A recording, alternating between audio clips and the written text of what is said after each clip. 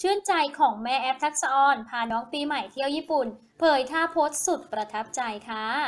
เป็นคู่แม่ลูกขวัญใจหลายๆ คนเลยนะคะสำหรับคู่ของแม่แอฟทักษออน และลูกสาวอย่างน้องปีใหม่ค่ะ ที่แฟนคลับนั้นเห็นคู่นี้เมื่อไหร่นะคะ ก็มักจะตัวติดกันอยู่ตลอดละค่ะ เห็นคุณแม่ที่ไหนก็ต้องเห็นคุณลูกที่นั่นด้วย แถมตอนนี้น้องปีใหม่ก็โตเป็นสาวแล้วละค่ะ ยังคุยเก่งเป็นเด็กตลก ช่างโพสท่าถ่ายภาพอีกด้วยนะคะ และอย่างล่าสุดนี้ละค่ะ คุณแม่แอปนั้นได้พาน้องปีใหม่ไปเที่ยวที่ประเทศญี่ปุ่น และได้ถ่ายภาพรวมกันเหมือนเช่นเคยนะคะ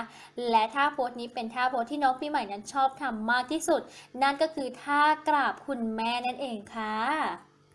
และนี่ก็เป็นเรื่องราวที่เราได้นำมาฝากกันนะคะ ครั้งหน้าจะเป็นเรื่องราวของใคร อย่าลืมกดไลค์ กด Subscribe เป็นกำลังใจให้กับช่องบันเทิงนิวด้วยค่ะ